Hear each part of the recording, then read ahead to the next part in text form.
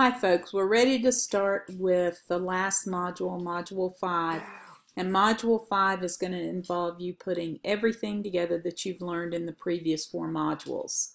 Uh, you will cover all of the ISTE-NET standards for teachers and um, you will be planning so that your students will be covering the ISTE-NET standards for students. So it's one great big task with lots of little steps.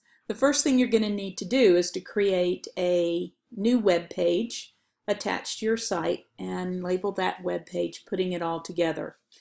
The second thing you're going to need to do is to choose one of these two SOLs that I have provided. If you have another SOL that you would like to use that's either science or social studies, um, I can um, agree to that. Please just let me know that you've chosen a different one. Um, but I, and thinking about time, I thought it would be easier if I chose two for you. One is Social Studies third grade SOL, looking at the um, important people, uh, Rosa Parks, Thurgood Marshall, and Martin Luther King. The second one is another third grade, but from science this time, and um, students investigating and understanding simple machines.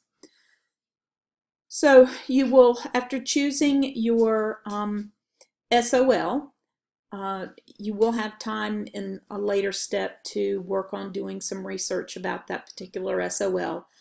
But if you recall, one of the things in the set process as well as UDL is the first thing you need to think about once you have your goal in mind, and in our case, our SOL in mind, is to learn about your class.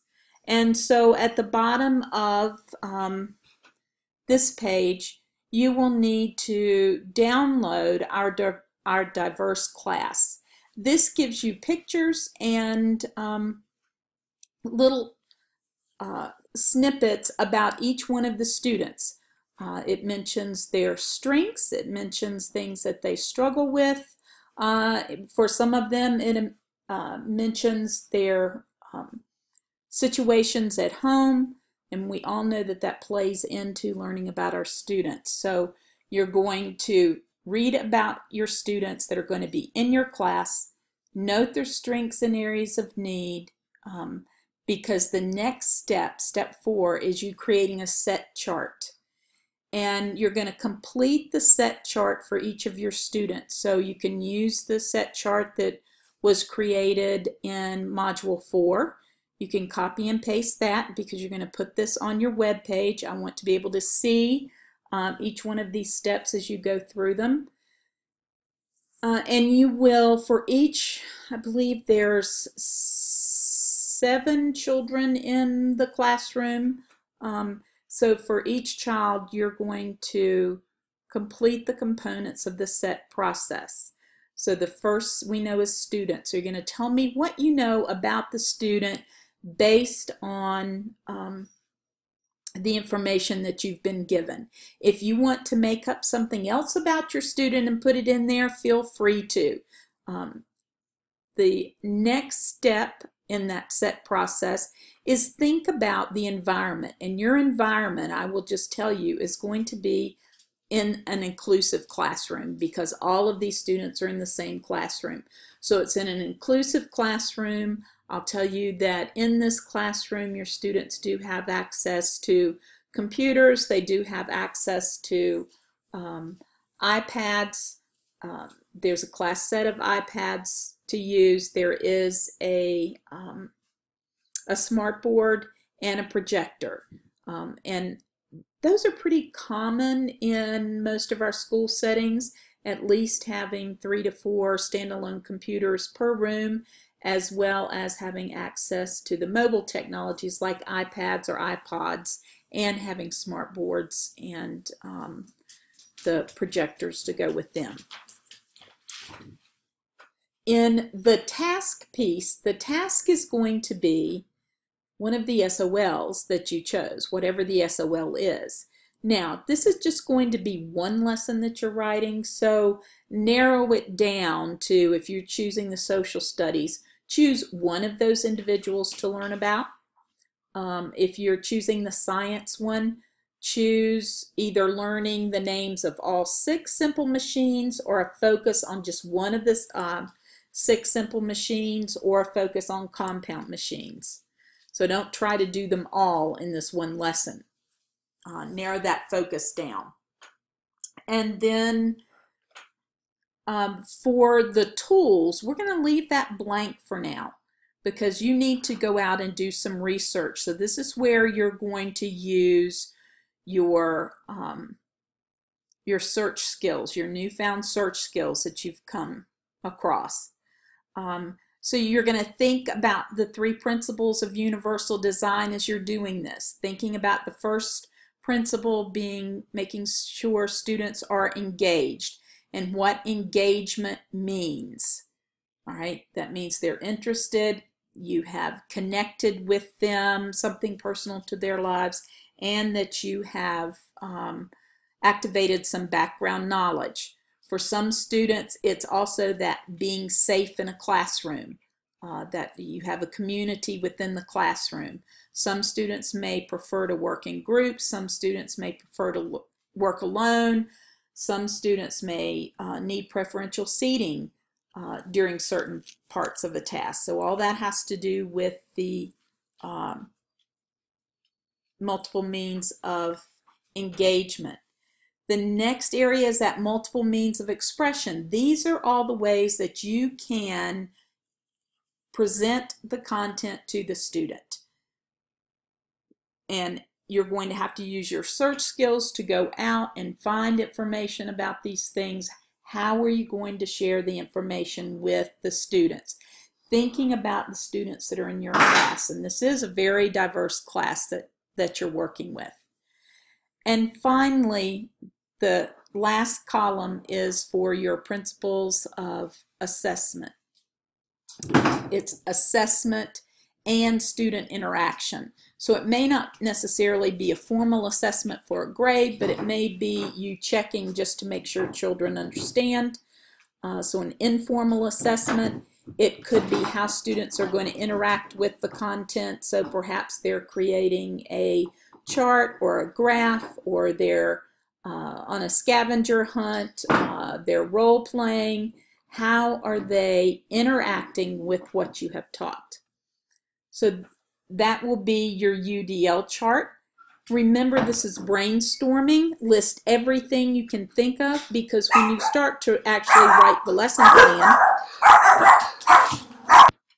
so be sure that you use this time when you're thinking of how you're going to represent the content, how can students interact with the content, what can they do, um, that you are brainstorming. Just, you know, let your brain go. Get out and search and look and see what you can find out there uh, to support your teaching.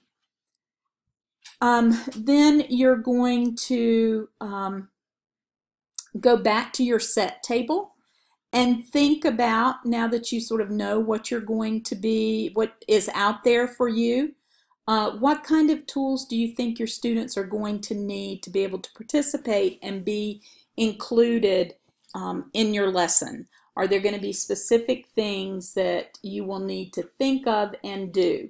For some students, there might not be anything. There may, they may be able to uh, grasp the content just based on you uh, presenting information in various ways, based on you grouping. So the only people that need special tools are perhaps the ones that have um, more significant or more special needs. From there, you will be downloading uh, the lesson plan form that is below and I have put a template, which is the blank form for you to fill out, and I have put an example of what that will look like. Those of you that have worked with me before know that lesson plans have to be scripted, and I want to see, be able to hear you talking to me or hear you talking to your class um, within your lesson plan. And this sample plan will give you a feel for that, and it's a social studies plan. It will also show you how to complete the UDL chart that's actually embedded in the lesson plan. Uh, your UDL chart uh, that you've created up in step number six, remember was brainstorming. When you go to write your lesson plan, you have picked from your little menu that you created from your brainstorm um, and you, you will be using those methods and strategies to teach your content. So you're going to complete your plan, making sure you have each one of those sections completed. Uh, I stress the importance of your scripting this and be sure that you save your plan and you're going to post it to the add files at the bottom of your page. Once you've completed your plan, um, the next step is to create a newsletter for parents that lets them know about this SOL that you're going to be teaching. And this is just a one page, just the front of a newsletter. Uh, there is a checklist that is included that will help you and guide you in creating your lesson plan. I was going to give you some templates for you to use, and then I thought, no, you need to practice your search skills. So I want you to look for, search for newsletter templates on Word and or Google Docs. You can find them for both of those, um, both of those programs. Uh, and I would like for you to post your completed newsletter down in the add files. And when you see the checklist, that gives you uh, some more directions about the newsletter. The next thing I would like for you to do is to create an activity to go with your SOL that uses the QR codes. Um, and this should can go along with a book perhaps that you're going to read in your lesson. It might go along with teaching important vocabulary or anything. Just use your imagination. Um, I did provide you with several good links to give you that you can go to and look for how you might use these QR codes. Uh, for that, you're going to either need to include the QR codes on your web page or put them within a document and save that at the bottom of the page. And the very last thing that's going to be on this page is a video of you. And this video um, probably be 10 minutes at the most. Uh, I need you to tell me um, about your lesson. Tell me the US the the SOL that you chose to teach. And then I want you to summarize how you're going to do that. I would like you to really focus in on your UDL chart and how you went about choosing the items that you did for that chart and why you chose the things that you did for that chart. And I would also like for you to tell me how your lesson fits in with the ISTE-NET standards for students and to the 21st century learning skills. Um, you can record your um, step 12 on your cell phone and then just upload to YouTube and YouTube can be embedded right onto your web page under insert or you can use a, a program like Screencast-O-Matic which is what I've been using for all of my videos uh, whatever is the easiest and works for you. Okay, and you're going to make sure that that is inserted onto your web page. So when I pull up your web page, I'm going to see your video and can listen to that right there. A lot of steps, but again, it's review. It's getting you to practice and use the things that we have talked about or you, and you have learned about through the past four weeks. Any questions, you can let me know. Remember, contact me by email or text uh, or meet me on the Google Hangouts on Tuesday evenings.